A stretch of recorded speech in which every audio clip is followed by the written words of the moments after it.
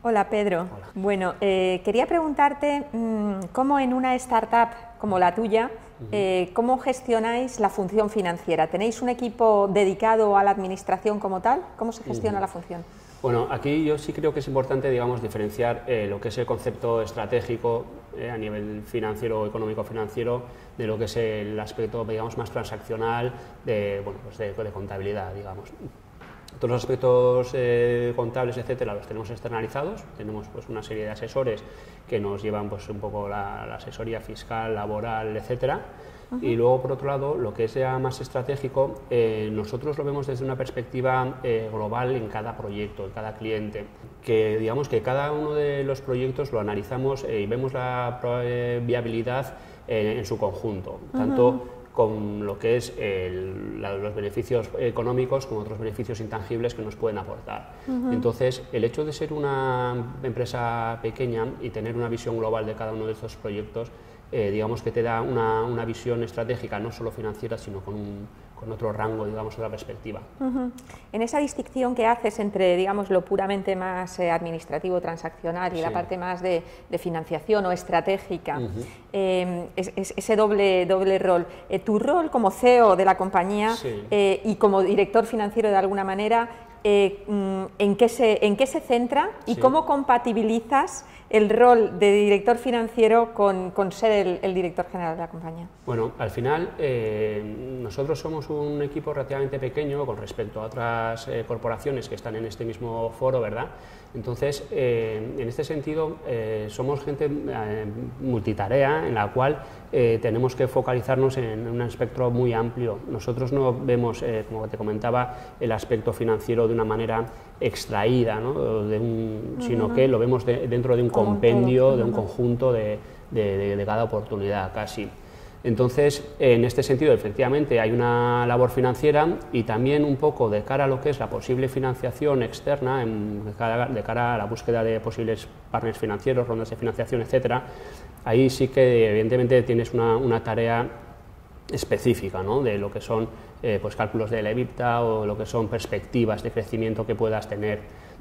Pero en el día a día no hay una función financiera puramente, si quieres. ¿eh? Con lo cual tú actúas un poco en cada ocasión, ¿no? Con la necesidad. Entonces en ocasiones eres tú mismo el que tienes que hacer todos esos análisis. Sí, una de las principales bondades, si quieres, que tiene nuestra situación actualmente es que al estar ofreciendo una tecnología muy puntera, no tenemos eh, grandes competencias todavía, o sea, sí que existen otras eh, empresas que están haciendo temas similares, pero estamos en una fase muy incipiente de lo que es el ciclo de vida del producto, con lo cual nos permite eh, trabajar con márgenes bastante holgados y entonces eh, los detalles a nivel financiero probablemente no sean lo más relevante a la hora de gestionar un conjunto de, proyectos de oportunidad. Y la parte de, digamos, más administrativa que tenéis eh, de alguna manera externalizada, o la parte, digamos, de gestión, de lo que es el día a día, de la contabilidad, em, en una empresa eminentemente tecnológica como es la vuestra, por los productos que, y servicios que ofrecéis al mercado, eh, eh, ¿juega la tecnología un papel relevante en vuestra gestión interna?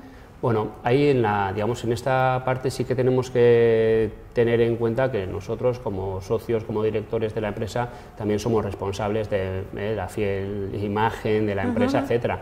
Entonces, evidentemente sí que tenemos que supervisar porque tenemos la responsabilidad sobre ello y eh, en ese caso, bueno, pues sí que tenemos, eh, digamos, reuniones constantes con, con, los asesores, tanto a nivel fiscal como a nivel, legal, etcétera.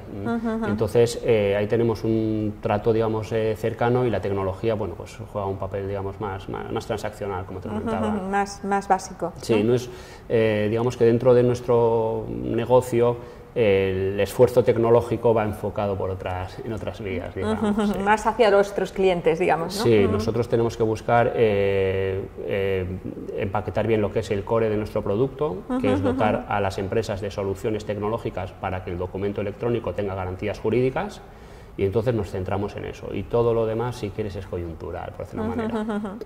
A la hora de elaborar el plan estratégico del negocio, eh, cómo os organizáis, digamos, internamente, ¿no? Para también comunicarlo a vuestros eh, posibles, digamos, eh, inversores o, apoyos que tengáis para, hacer crecer la compañía. Sí, bueno, ahí eh, digamos que nos basamos en el recorrido que tenemos ya, ya hemos emprendido un recorrido, pues hay un ecosistema de incubadoras, aceleradoras, etcétera, que te ayudan mucho a empaquetar, si quieres, lo que es el, el producto, el producto empresa, de cara a presentarlo a una posible ronda de financiación y entonces, eh, bueno, pues ahí al final en la organización entramos eh, los, directores asociados, los socios de, la compañía y, bueno, pues eh, nos organizamos de una manera más bien, yo te diría que artesanal, ¿no? En base a herramientas de ofimática y, bueno, pues mucho brainstorming y, y, maquetación, si quieres, de lo que son las, las propuestas.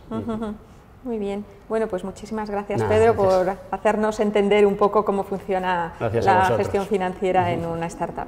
Estupendo, muchas gracias.